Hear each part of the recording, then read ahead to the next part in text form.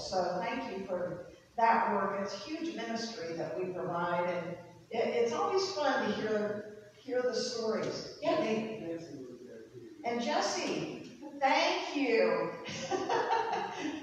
I didn't necessarily know. Um, I was going to be there.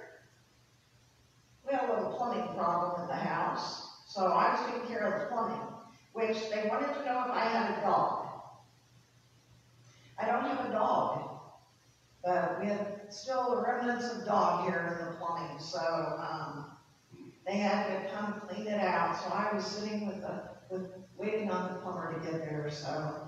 Um, we do want to hold this week in our prayers, uh, Dennis Draghi, Lola, his wife, or his mother, um, died on Monday. Her funeral will not be until October third, um, that they will have the service at Freedoms at eleven o'clock. They're not sure how they're gonna do it for numbers of people and that kind of thing. So we'll have to kind of wait and see what the, what the arrangements start to look like a little bit as we go through, um, this next week. You did receive by email, or you can pick up, because it's a twelve page, a prayer guide. On September twenty-sixth in Washington DC, I wish I could be there, but there's a lot of reasons not to be there, I don't want to be with that many people. Um, besides, I think, yeah, um, it's called The Return, and part of it is Franklin Graham and faith leaders from across all denominations are coming together to say it is now time for us as churches, as church bodies, as people of God, to kind of get off our tails, and we have to start to stand up and do something. We have to start to be the ones to pray. We can't just hope that someone else is going to pray us through the issues that we're in at this point. So there is, if you go on their website on the um, thereturn.org, you can find out about um, all the all the talks that are going to be given. You can even listen to them to stream them.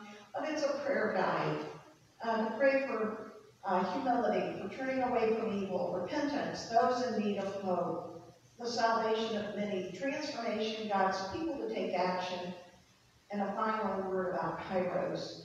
I encourage you, and there's about um, 12 or 13 copies that I printed off. So if you don't want to print this, which I will tell you, it takes a lot of ink. uh, the front two pages are a lot of black. So if you want to take a copy of it, that would be fine. Uh, that's why I printed off some. I encourage us as we go through September 26th, through that Saturday, to really call ourselves to prayer as um, something I think we need to think about um, as a nation. And so I give you that as a uh, as reading material, but I think it's I think it's good. Uh, I think we do need to call ourselves and our country to prayer. You know, I, again, as I worked with people on um, Thursday, I was amazed at the stories we hear and the invitations that are given. In fact, um, I have a feeling we'll have a visitor. Uh, a young lady came after everyone else had left, of course, and Pastor Janelle and I were there, and so we got to, a chance to really talk with her. She used, her aunt lived in, I think it's Jeff's house, uh, Cindy Jones, because they always got my mail and her mail confused. And we were talking about where the church was, and she said, Oh, that's that really pretty church that I really want to stop in, in a beautiful house, and I really want to stop. Because I, when I went to my aunt's, I always drove by. I think she'll be here someday. You know, we'll keep praying for her as she's making her journey as well. So there is there there are moments that we all have that we touch lives, and we're going to continue to hear about that.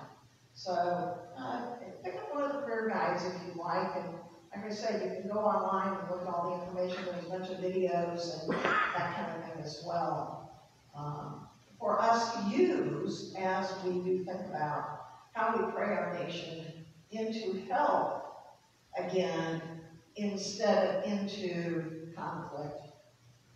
Because uh, last night, two more police officers in LA were at point blank range, uh, shot, both in critical condition. Rioters would not let them get into the hospital. It's wrong. It's wrong what's happening in our country right now. But we're the ones that make the change, and with nothing else, we do it by prayer. So we're going to lift our prayers that way. So, okay. I don't know of any other announcements right now. I think everything else is in your bulletin um, as we move through move, move through our time together. So let's stand. We'll begin with our confession. In the name of the Father, and the Son, and the Holy Spirit. Amen. Almighty God, to whom all hearts are open, all desires known, and from whom no secrets are hid. Cleanse the thoughts of our hearts by the inspiration of your Holy Spirit, that we may perfectly love you and worthily magnify your holy name. Through Jesus Christ our Lord. Amen. If we say we have no sin, we deceive ourselves and the truth is not in us. But if we confess our sins, God, who is faithful and just, will forgive our sins and cleanse us from all unrighteousness. Most merciful God, we confess that we are in bondage to sin and cannot free ourselves. We have sinned against you in thought, word, and deed, by what we have done, and by what we have left undone. We have not loved you with our whole heart.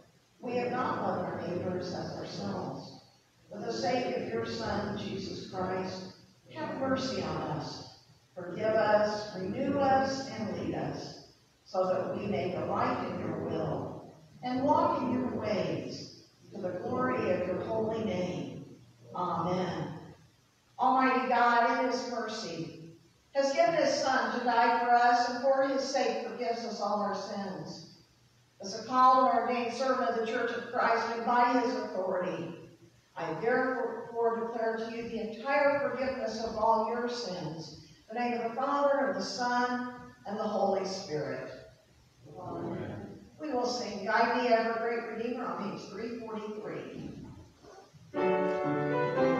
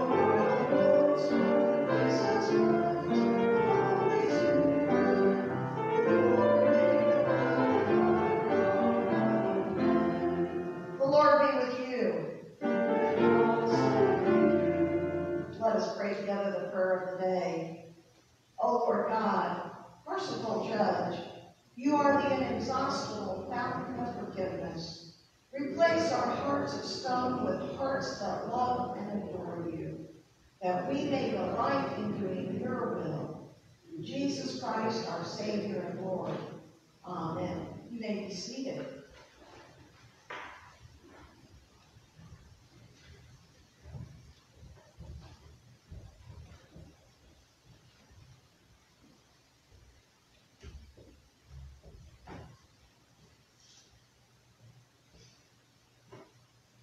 First lesson is Genesis 50.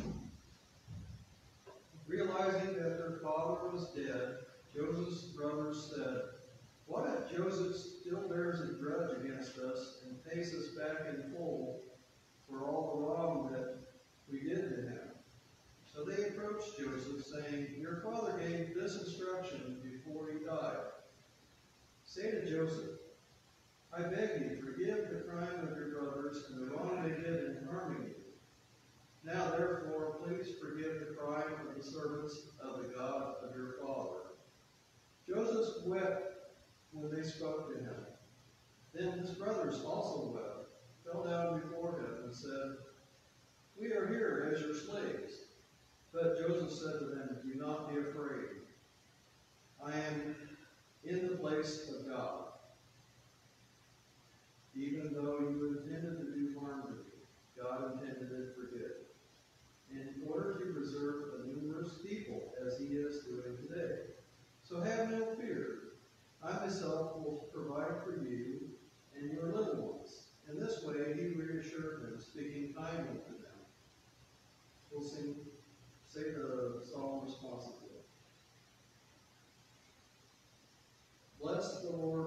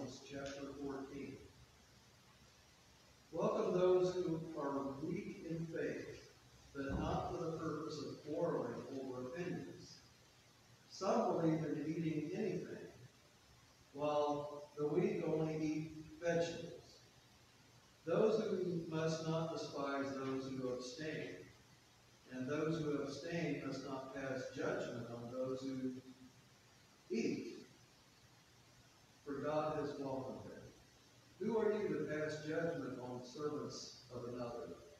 It is before their own Lord that they stand or fall, and they will be upheld.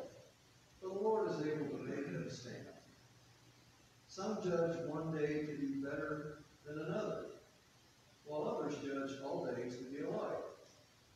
Let all be fully convinced in their own minds. This, those who deserve, those who observe the day, observe it in honor of the Lord. Also those who eat, eat in honor of the Lord, since they give thanks to God. While those who abstain, abstain in honor of the Lord and give thanks to God. We do not live to ourselves. We do not die to ourselves. If we live, we live to the Lord. If we die, we die to the Lord. So then, whether we live or we die, we are the Lord's. For it is, in, for to this end Christ died and lived again, so that he might be Lord of both the dead and the living. Why do you pass judgment on your brother or sister? Or you, why do you despise your brother or sister? For we will all stand before the judgment seat of God.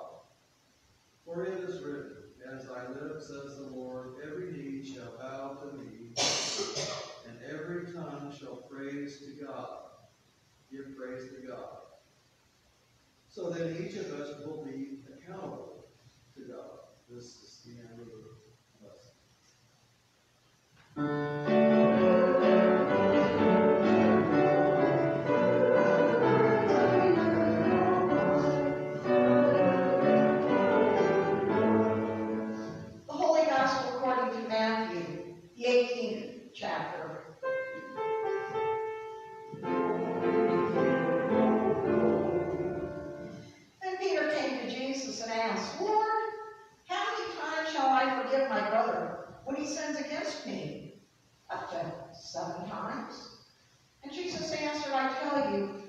Seven times, but seventy-seven times.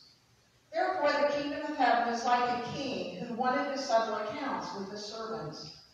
As he began the settlement, a man who owed him ten thousand talents was brought to him. Since he was not able to pay, the master ordered that he and his wife and his children and all they had be sold to repay the debt. The servant fell on his knees before him. Be patient with me, he begged, and I will pay back everything. The servant's master took pity on him, canceled the debt, and let him go. But then when the servant went out, he found one of his fellow servants who owed him a hundred denarii. He grabbed him and he began to choke him. Pay back what you owe me, he demanded. His fellow servant fell to his knees and begged him, Be patient with me and I will pay you back. But he refused. Instead, he went off and had the man thrown into prison until he could pay the debt. When the other servants saw what had happened, they were greatly distressed and went out and told their master everything that had happened. Then the master called the servant in. You wicked servant, he said, I canceled all that debt of yours because you begged me to. Shouldn't you have had mercy on your fellow servant as I had on you? In anger, his master turned him over to the jailers to be tortured until he should pay back all he owed. This is how my heavenly Father will treat each of you unless you forgive your brother from your heart. These are the words of our Lord.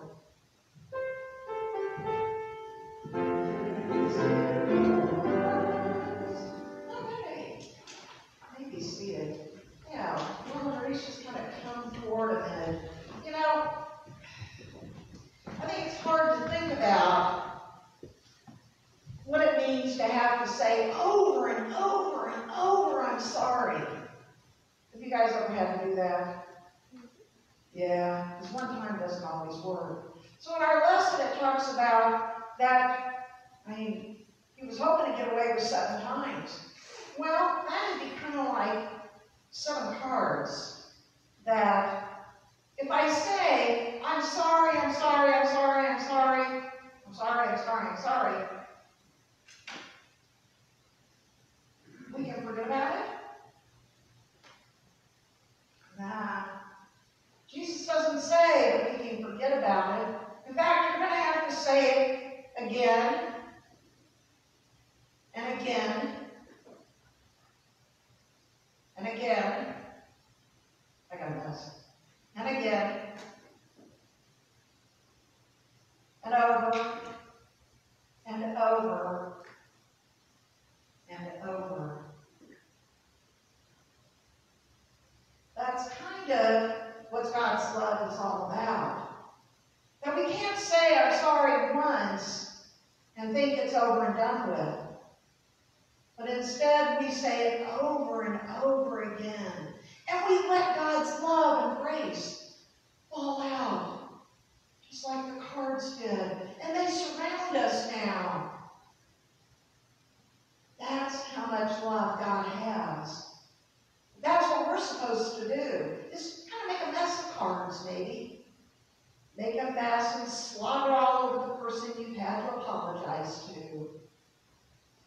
Because God loves us that much. Amen. Thanks, guys.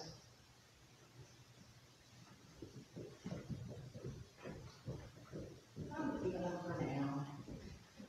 Later you're pick them up, maybe. Let us pray. Father, we are assured in your word that judgment without mercy will be shown to anyone who has not been merciful. But if we forgive others when they sin against us, then you will forgive us as well. For in the same way we judge others, we will be judged. And with the measure we use, it will be measured to us. So, Father, right now, we release into your hands those who have done me wrong, done us wrong. We open the door of the debtor's prison that we have held them in, and we set them free. We ask in Jesus' name that you will set us free from the torment of bitterness and unforgiveness. Oh God, help us to walk away in freedom and to never look back. Amen. You know, it's interesting that Peter, in the first couple verses of our reading, and Peter is really concerned. He wants to know, how many times do I have to say, I'm sorry? He really wants to know the numerical number that he can put on it. That isn't what Jesus was concerned about, though. There's not a numerical number because really this lesson is about a divided community. I feel like maybe in the world we live in right now that is so divided, that we are as well in a divided community of not knowing how to be in maybe relationship with each other. Maybe, maybe. These cards are representative of where you and I are in our journey. Is it hard to have to say, I'm sorry? Is it hard to say, I might have been the And what Peter was wanting was an easy way out. Hey, Jesus, just tell me, if I only have to say I'm sorry seven times, I'm going to stop there. I'm not real worried, though, Jesus, about my own heart. Because I can mouth the words, I'm sorry, over and over. And yet, that isn't, that isn't what Jesus wants. Jesus answers, I tell you, not seven times, but 77 times. It is about, and that becomes a perfect, perfect number when we count our sevens, and seven we know is the perfect number that Jesus uses, and we use biblically over and over again. In other words, we can't say it enough. We cannot say, I'm sorry enough until we open our hearts and let our hearts be cleansed from God. The words that we mouth are not the words that Jesus needs. Oh, they're important. But that's not where Jesus needs us to be. I find it interesting that the rest of this is really Jesus and Peter are having a conversation in the first part. This last part was very much about a Gentile. And we have some pretty good reasons. We know that this was not to the Jewish community, but to a Gentile. But they were Gentiles. We have a couple of reasons we know that for sure. One is the amount of wealth that the king had. He was very wealthy.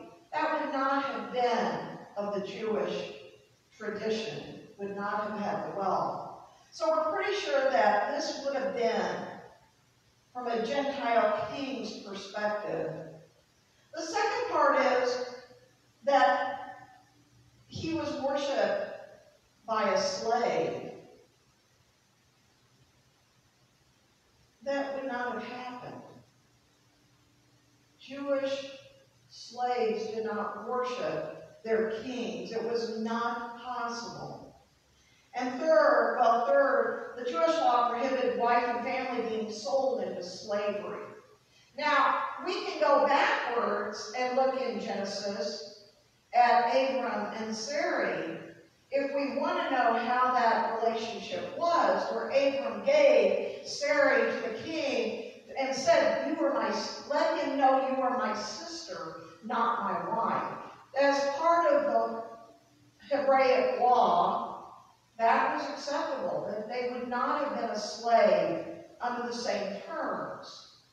So Jewish law didn't pro prohibit or prohibited that, and a Jew could not be imprisoned and tortured. So it was probably a Gentile that was having this conversation with a Gentile king. This was probably not Jew to Jew, or a, a Gentile to a Jew, or anything. It would have been Gentile to Gentile, king to. But it's about, you know, reconciliation is what this lesson ends up being all about. And it's the hardest part for a, in a community when one person has been wronged. I mean, I have to tell you, oh, the rumor, the rumors in town. I mean, if someone does something wrong, or in someone's perception something has been done wrong, the, the little grapevine. Ooh, it's pretty good. I mean, between Frankfort and Axtell. And then when we put in Marysville, oh my goodness, the grapevine is huge. And the bad will always spread more farther than the good stuff that happens. Always. We, though, are called. And I think that's part of this prayer calling us and recounting us and bringing us to prayer by the, in the return is what it's really helping us to understand is that we have to start to say, I'm sorry, and let our love of each other, no matter the circumstances, reach out. Because I have to tell you, friends, we all fall short. There's not one of us that's leaving here without having had boo-boos and mistakes, have been misunderstood, and have maybe even said words that were not the words that we would have hoped someone would have heard.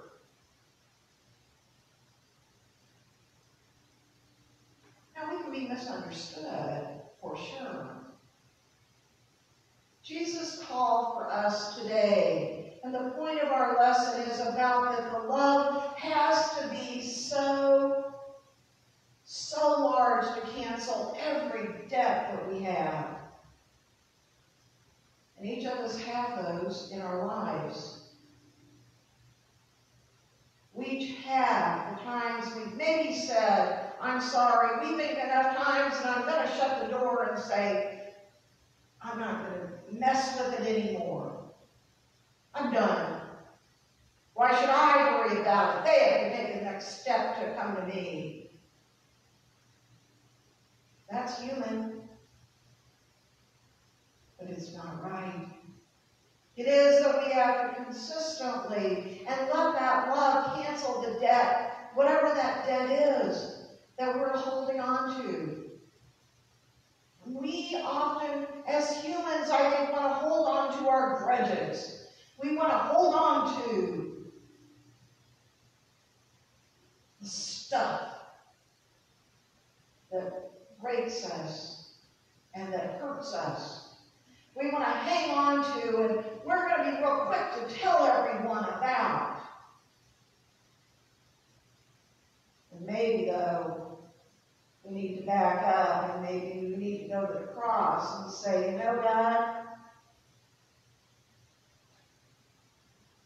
yeah, it's me.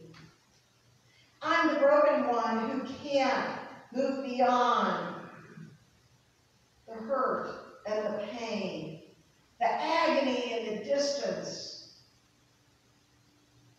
But God, cleanse my heart that I may cancel that debt, that I may say with all honesty, my heart is open now to you. Come, let's renew the relationship. You know, churches, churches are bad. Bad about holding on to. Holding on to a past history and a past story. Of wanting to just tell, you know, back then when that pastor did or that person left because they were just mad about whatever.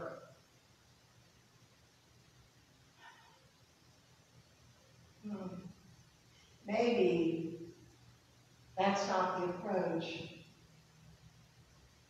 Maybe what needed to happen is in the, in the moment to be able to say, hey, I think it's kind of like last week's lesson. Maybe we need to talk to how do we rebuild. What did I not hear you say? What did I need to apologize for? Maybe I didn't know I said something. I mean, how many times have, have you ever had that happen? Where you didn't realize you said something that offended someone? Oh, I have. And then I find out via the grapevine, and it's like, uh, that's not what I said, or at least what I thought I said. Or, wait a minute, let's put it back in context to what we were talking about at the moment that someone maybe overheard me say. Have we ever done that? Oh, yeah. We all have, all of us. We've all been guilty, and it's not just churches. It's in all groups that we're part of. We've all had that happen. God here, though, says very clearly, this is how my heavenly Father will treat each of you. Unless you forgive your brother from your heart, we are called to have mercy. We are called to say, I'm sorry. We are called to over and over maybe pick up our cards and maybe have to say it again.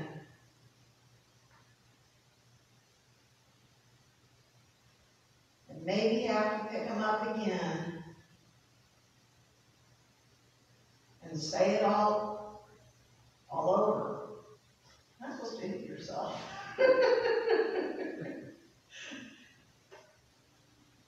but maybe getting hit in the head is what we need to do sometimes. Maybe that's God saying, hey, I need you to look at what you've done. I need you to look at yourself and then others. How do we pick up that one that may have been wounded. It was like the picture that's in your, that was in your weekly this week. That was such a cool Saturday morning. I opened up the side door, went out on the porch and that, well, it was such a weird color. And that's what I noticed first, um, Saturday morning, was the color. And I looked out and it's like, I took that picture and it was really eerie. I mean, that picture was eerie of the church and the sun and the, all the fog and everything that was across it. And it's like I said in my note, what didn't strike me until I sat down to write were the leaves in the front. I was focused on a bigger picture and hadn't looked at the front. How many times do we get caught up in our stuff? That we're thinking about the back end of something and forgot about what maybe happened on this end. Who did we forget? Who did we leave behind? Who did we wound? I'm just not saying I'm sorry. Who needs that phone call? Who needs to hear the story of God's love?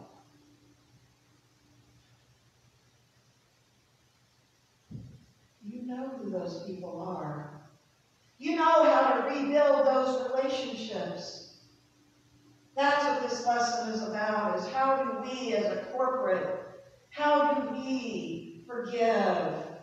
How can we not be under the, the control of the sinful act that we have suffered? And how can we be made new to laugh and to share the joy that He's given us? Amen. We will sing hymn number 126, Where Charity and Love Prevail.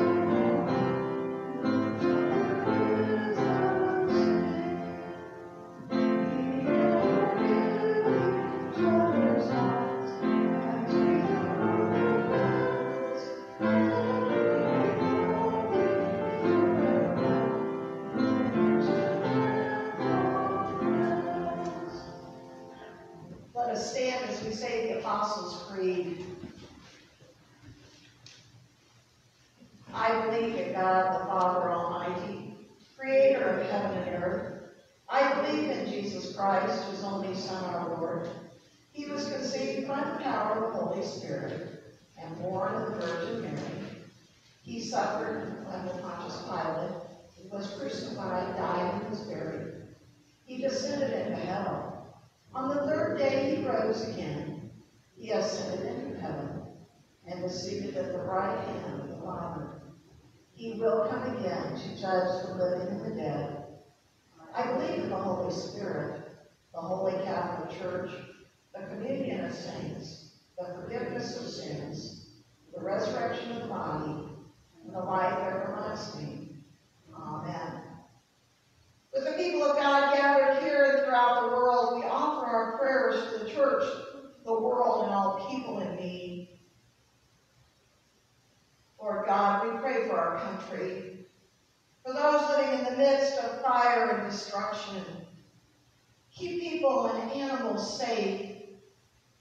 Be with all who are called upon to work for fire crews, for EMS crews, for all in harm's way. Be with all the people in California, Oregon, Washington, Arizona, Colorado, and all other states that are experiencing untold loss. Lord, in your mercy. hear our prayer.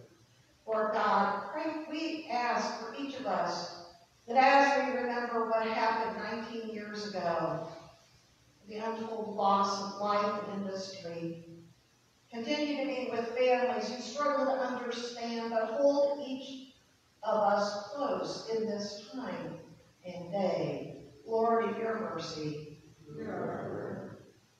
Lord, as we begin to look forward to a renewal of faith, be with us this day. Let us each rise up and hold fast to the truths of your word. Lord, in your mercy. Oh Lord, for all people in this time and all parts of the world, let there be peace ringing out for all to hear. Let us stand together with each other in order to share your hope and life with the many. Lord, in your mercy. Lord, we ask that you be with all in our community. Those who serve, those who work, those who are learning. Continue to draw us to you in order that we may live the life you have called us to do. Lord, in your mercy. Lord, we ask you to be with our farmers this day. That as harvest is beginning to give them safety in working around machinery and in the fields.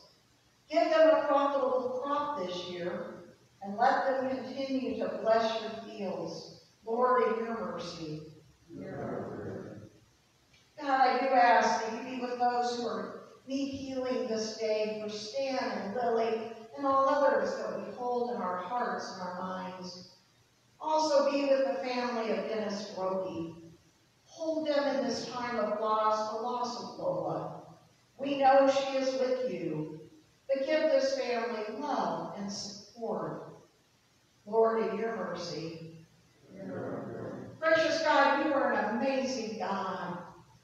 You inspire us, you call us. You bring us together to be your children. You ask us and send us into the world, though, that is often hostile to your words. Let us be the light in the midst of darkness. In your name we pray. Amen. Let us pray the prayer that our Lord taught us. Our Father, who art in heaven, hallowed be thy name. Thy kingdom come, thy will be done, on earth as it is in heaven. Give us this day our daily bread, and forgive us our trespasses, as we forgive those who trespass against us. And lead us not into temptation, but deliver us from evil. For thine is the kingdom, the power, and the glory, forever and ever. Amen. We remain standing and sing Create in Me.